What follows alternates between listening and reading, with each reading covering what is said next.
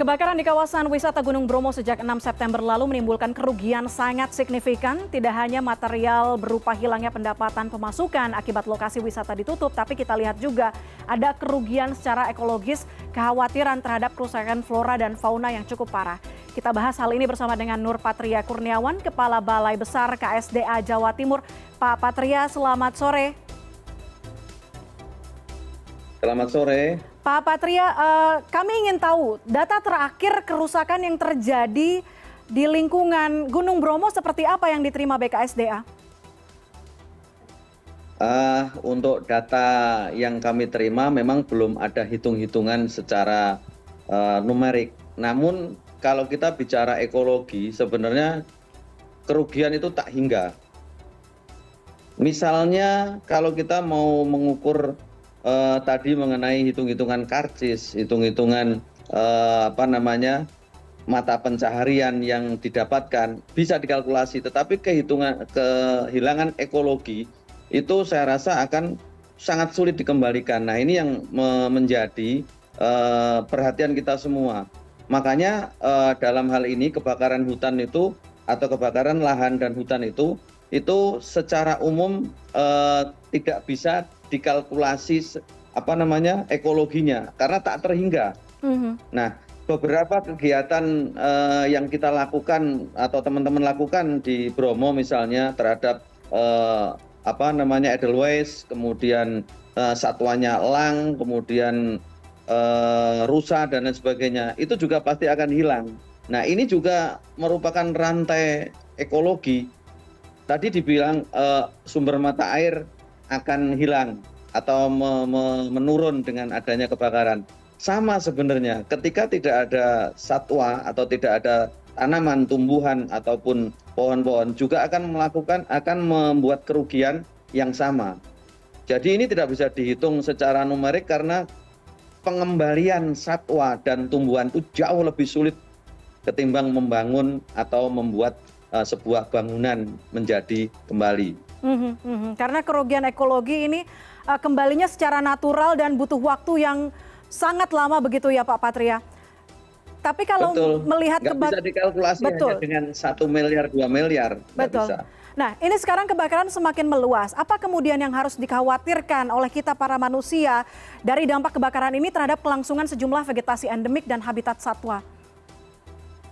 Uh, sangat dikhawatirkan. Misalnya nih, kalau kita tidak segera bersama-sama menanggulangi ini, ketika sampai habis misalnya edelweiss mau kita cari di mana edelweiss bromo yang sudah menjadi ikon mm-hmm. mau dicari di mana lutung khas bromo yang selama ini menjadi satu-satunya uh, yang berada di bromo?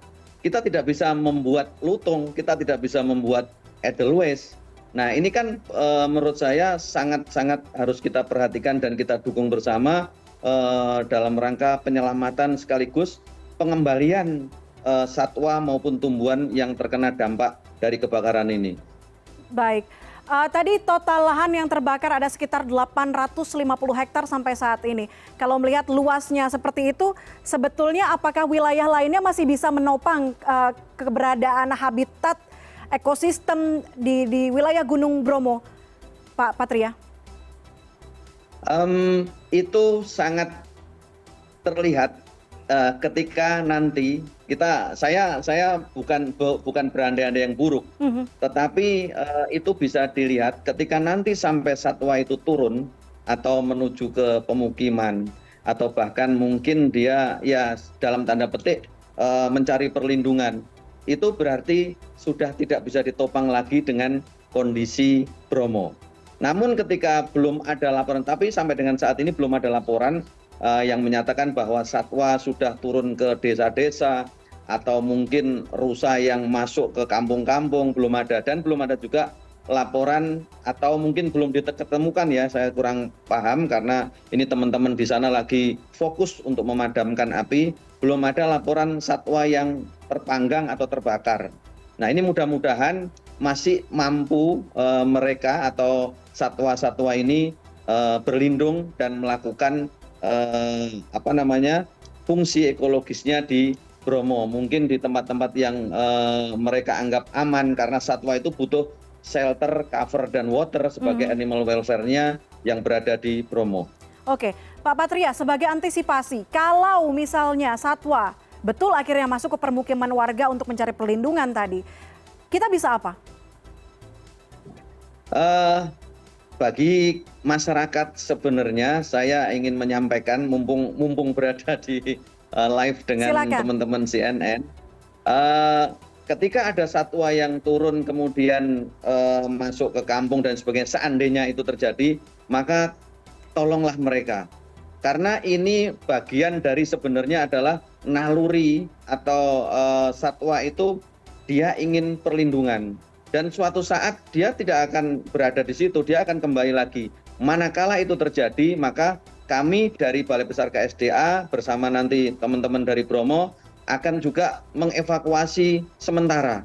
Kami akan lakukan proses evakuasi sementara dan nanti akan kita kembalikan jika uh, habitat aslinya memang sudah pulih kembali. Itu satu-satunya jalan yang kita lakukan. Karena kalau tidak, maka antara ini satwa yang masuk karena mencari perlindungan dianggap sebagai konflik kepada masyarakat. Ini yang bahaya. Makanya saya berharap tolong nanti kami diinformasikan dan segera kita ambil langkah untuk kita uh, evakuasi dan amankan satwa-satwa tersebut sebelum kita kembalikan. Baik, BKSDA siap untuk uh, bisa memberikan evakuasi begitu ya kepada warga yang merasa terganggu ya. dengan datangnya satwa nanti ke permukimannya jika itu terjadi. Tapi Pak Patria mungkin bisa memberikan pemahaman kepada masyarakat bagaimana sih sebetulnya bisa memanfaatkan tempat wisata alam yang juga bergabung dengan flora dan fauna khususnya di musim kemarau seperti saat ini? Uh, satu kalimat yang ingin saya sampaikan berwisatalah yang bijak.